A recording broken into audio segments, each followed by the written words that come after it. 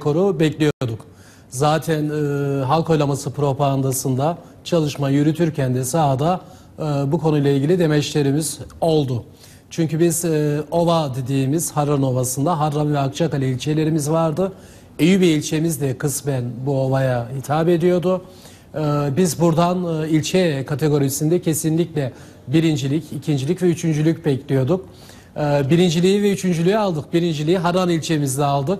Harelli kardeşlerimi ben de sizin vasıtanızla kutluyorum, tebrik ediyorum. Üçüncülüğü de Akçakale ilçemizde aldık.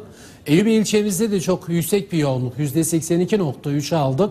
Fakat genel anlamda biz aslında bölgeye baktığımızda bölgede 13 ilçede reylerini yükselten e, bir il olarak Şanlıurfa karşımıza çıkıyor. E, Şanlıurfa'da mesela Suruç ilçesinde e, %87 oranda bir artış sağlamış olduk.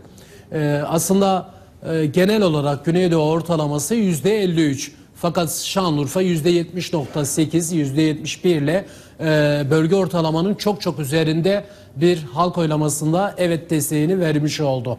Türkiye ortalamasını da baktığımızda iyi bir katkı sunduğumuzu düşünüyoruz.